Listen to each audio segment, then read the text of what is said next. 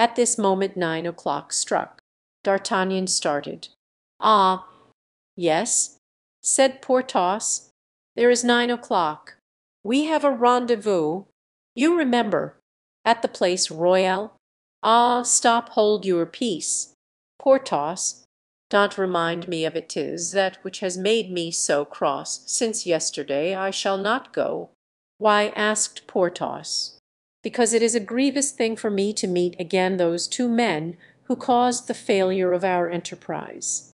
"And yet," said Porthos, "neither of them had any advantage over us. I still had a loaded pistol, and you were in full fight, sword in hand." "Yes," said D'Artagnan; "but what if this rendezvous had some hidden purpose?"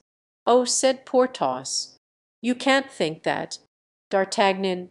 D'Artagnan did not believe Athos to be capable of a deception, but he sought an excuse for not going to the rendezvous. "We must go," said the superb lord of Bracieux, "lest they should say we were afraid; we who have faced fifty foes on the high road can well meet two in the Place Royale."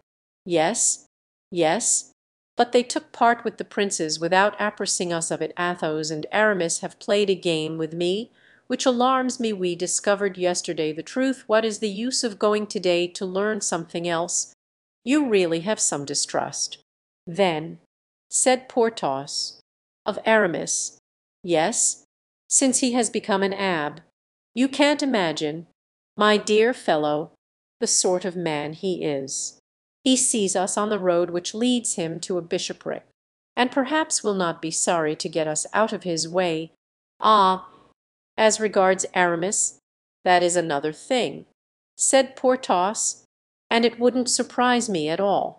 Perhaps Monsieur de Beaufort will try, in his turn, to lay hands on us. Nonsense! He had us in his power, and he let us go.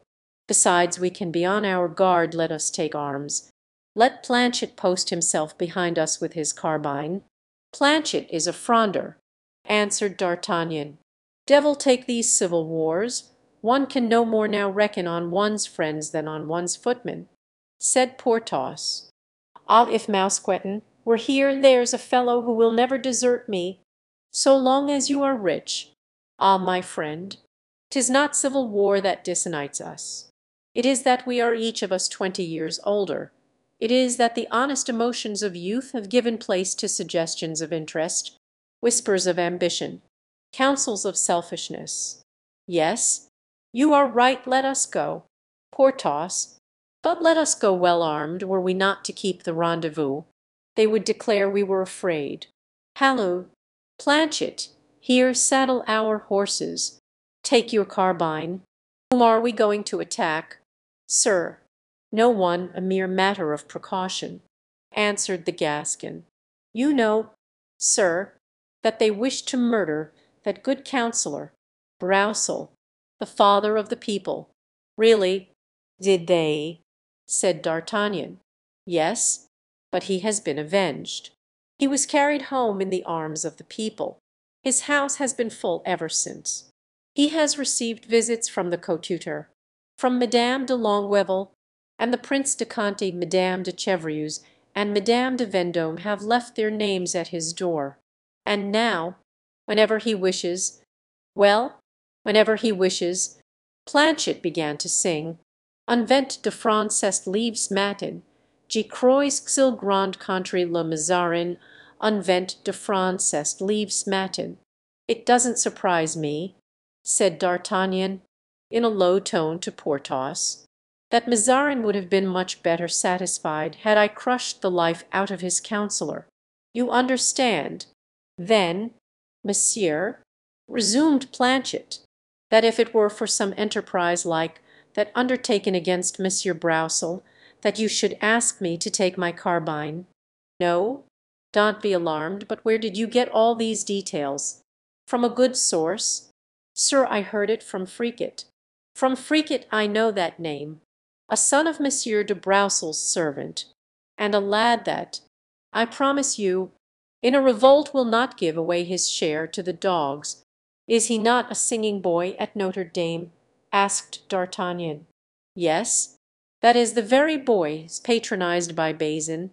Ah, yes, I know. Of what importance is this little reptile to you?" asked Porthos. "Gad," replied D'Artagnan, "he has already given me good information, and he may do the same again." Whilst all this was going on, Athos and Aramis were entering Paris by the Faubourg Saint Antoine. They had taken some refreshment on the road and hastened on, that they might not fail at the appointed place. Bazin was their only attendant, for Grimaud had stayed behind to take care of Mousqueton.